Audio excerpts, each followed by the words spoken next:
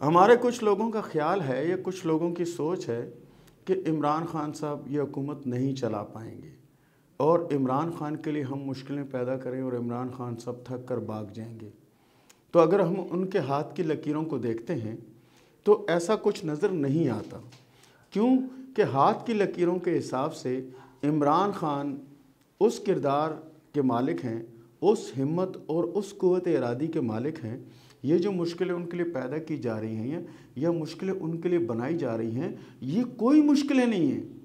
آنے والا جو وقت ہے، عمران خان صاحب ان مشکلوں کو عبور کر کے آگے نکل جائیں گے اور انشاءاللہ العزیز ہاتھ کی لکیروں کے حساب سے پاکستان کی تقدیر بدل کے رہیں گے۔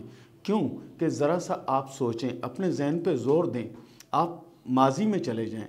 تو دیکھیں گے کہ عمران خان نے جب ہاسپٹل شروع کیا تھا کینسر ہاسپٹل جب انہوں نے شروع کیا تھا تو لوگ ان کا مذاق اڑاتے تھے کہ بھئی یہ کبھی کامیاب نہیں ہوں گے، یہ ہو جائے گا، وہ ہو جائے گا، یہ نہیں کر پائیں گے، یہ پیسے کھا جائیں گے، یہ اس طرح کر جائیں گے، اس طرح کر جائیں گے، لیکن ایسا کچھ نہیں ہوا۔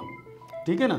وہ اسپتال بنانے میں کامیاب بھی ہو گئے اور اسپتال بنا بھی دی۔ ٹھیک ہے نا؟ اور آج اس ہاسپٹل میں یعنی کافی لوگ علاج کروا رہے ہیں۔ ٹھیک ہے نا؟ اس کے بعد عمران خان نے جب سیاسی پارٹی بنائی تو ہمارے کئی لیڈروں نے کہ ان کو یہ کہا کہ ان کی پارٹی کو کہا کہ ٹانگا پارٹی۔ جنرل مشرف صاحب کا بیان بھی موجود ہے کہ انہوں نے کہا کہ یہ ٹانگا پارٹی ہے، ٹھیک ہے نا؟ کیونکہ ان کے ساتھ چند لوگ تھے، لیکن یہ ہمت نہیں آ رہے، یہ چلتے رہے۔ جس طرح کی مشکلیں، جس طرح کی پریشانیاں، جس طرح کے حالات بنتے چلے گئے، یہ ڈٹ گئے۔ ڈٹ گئے، اسی طرح آپ ورلڈ کپ کو دیکھیں۔ کہ ورلڈ کپ کے لیے انہوں نے نیت کی کہ مجھے ورلڈ کپ جیتنا ہی جیتنا ہے۔ تو اس کے لیے انہوں نے کوشش کی۔ تو اللہ تعالیٰ نے اس میں بھی کامیابی ان کو عطا کی اور ہاسپٹل بنایا، اس میں بھی اللہ تعالیٰ نے ان کو کامیابی عطا کی۔ اور پھر سیاست میں آئے تو یقین کریں کہ جب تک ان کی حکومت نہیں بنی تھی، جب تک الیکشن نہیں ہوئے تھے، تو کوئی سوچ بھی نہیں سکتا تھا کہ عمران خان ملک کا وزیر اعظم بن جائے گا۔ اور جب لوگ کہتے تھے، کچھ لوگ کہتے تھے کہ وزیر اعظم بن جائیں گے تو لوگ ان کا مذاق اڑاتے تھے۔ یہاں تک کہ ان کے اوپر کئی لطیفے بنائے، کئی چیزیں بنائے کہ یار یہ کہاں سے حاصل کرے گا، کہاں سے کامیاب ہوگا؟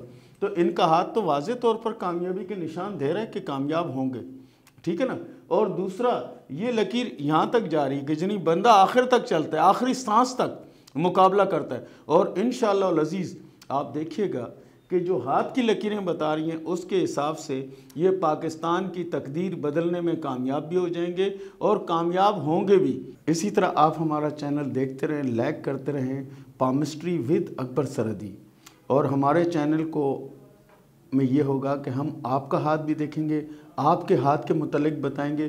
کوئی بھی آپ ایک سوال کریں گے، اس کا ہم جواب بھی دیں گے۔ اس کے لیے شرط یہ ہوگی کہ آپ کو ہمارا چینل سبسکرائب کرنا ہوگا۔ تو ہم آپ کے سوال کا جواب بھی دیں گے۔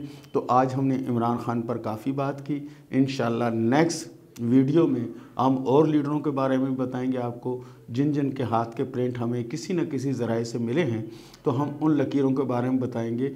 باقی جو ہوگا یا جو کرنا ہے، وہ تو اللہ نے کرنا ہے۔ ہاتھ کی لکیریں کیا کہتی ہیں؟ اس کے بارے میں جاننے کے لیے پامسٹری ود اکبر سردی دیکھتے رہیں